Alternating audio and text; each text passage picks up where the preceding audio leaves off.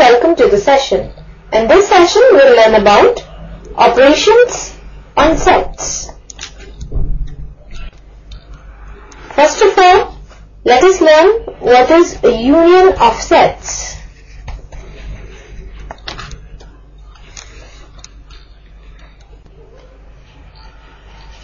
If A and B are two sets, then the set A union B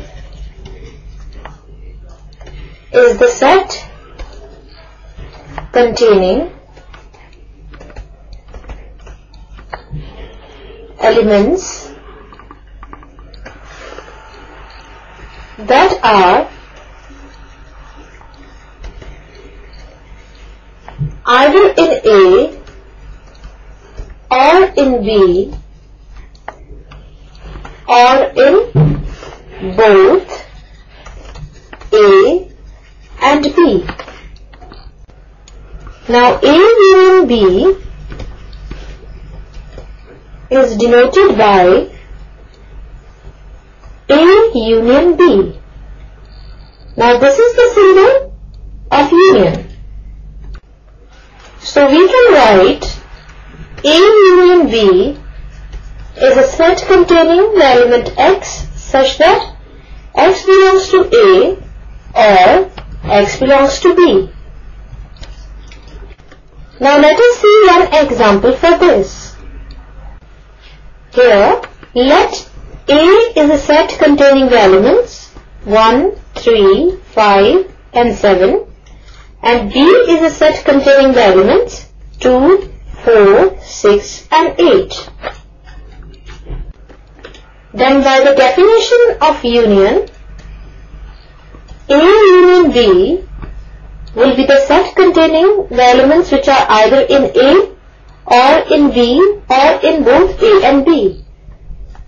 So this will be a set containing the elements 1, 2, 3, 4, 5, 6, 7 and 8. Now let us see one more example. Now here, let A is a set of letters of the word cooks and B is a set of the letters of the word Austria.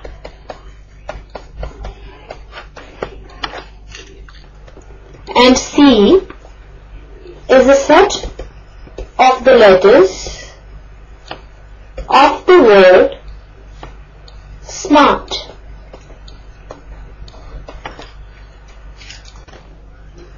Now A is a set of letters of the word cooks. Therefore, set A is a set containing the elements C, O, K and S. And B is the letters of the word Austria.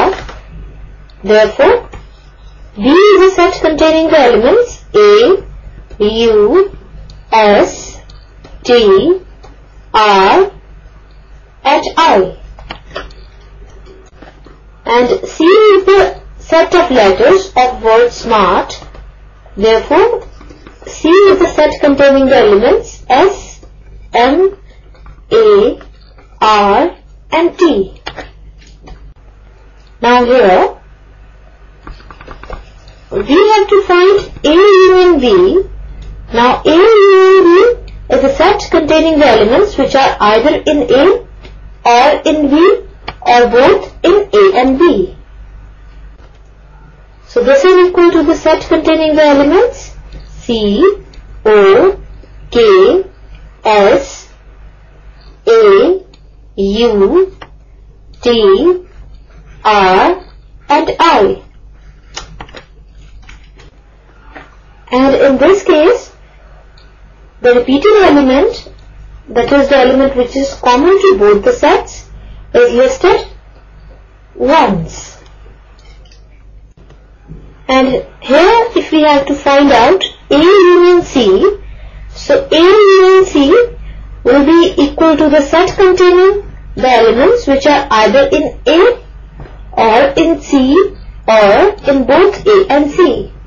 So A union C will be equal to the set containing the elements C, O, K, S, M, A, R and T. Now there are some points that we should remember while dealing with the union of sets. For any subset A,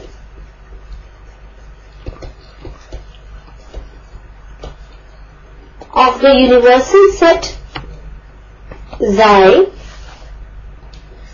first point that we should remember is A union the empty set phi is equal to the set A. Secondly, A union the universal set xi is equal to the universal set xi. And also, A union A is equal to the set A. Now let us discuss what is intersection of sets. Now the intersection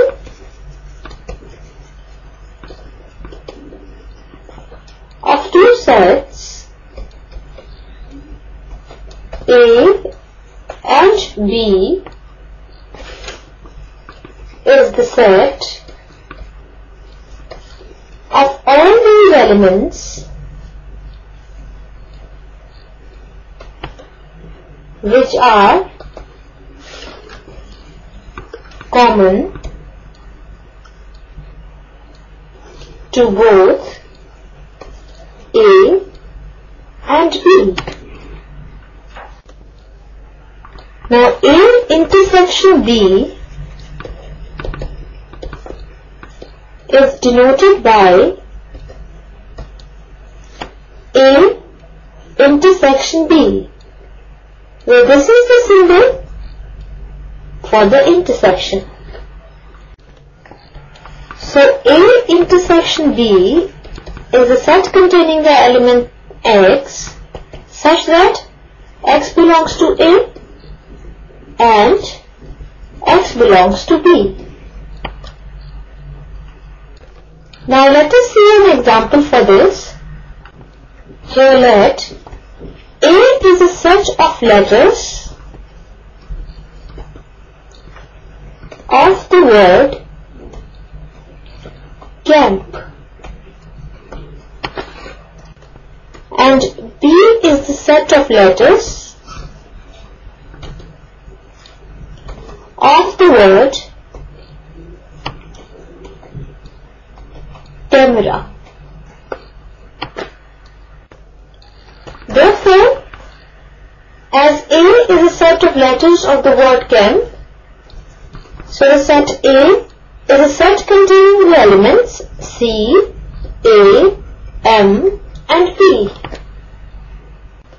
And B is the set of letters of the word camera. So B will be equal to the set containing the elements C, A, M, E and R. Now, by the definition of A intersection B, A intersection B is the set containing the elements which are common to both A and B. Now here the elements which are common to both A and B are C, A and M.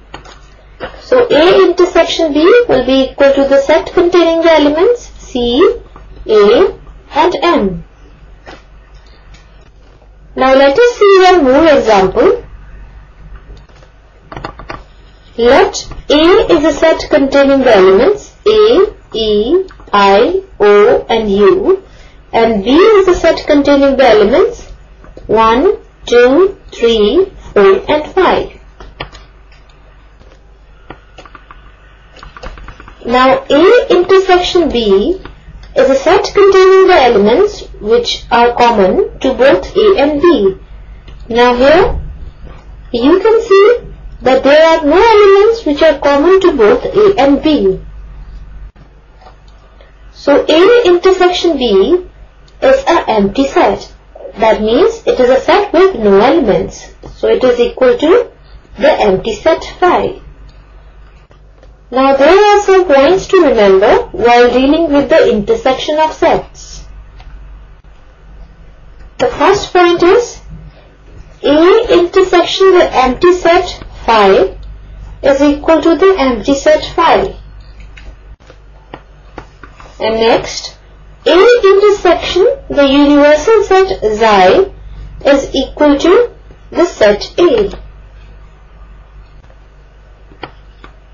And next, A intersection A is equal to the set A. So we have discussed intersection and union of sets. Now we will discuss one more example using union and intersection of sets. Let A is a set of prime numbers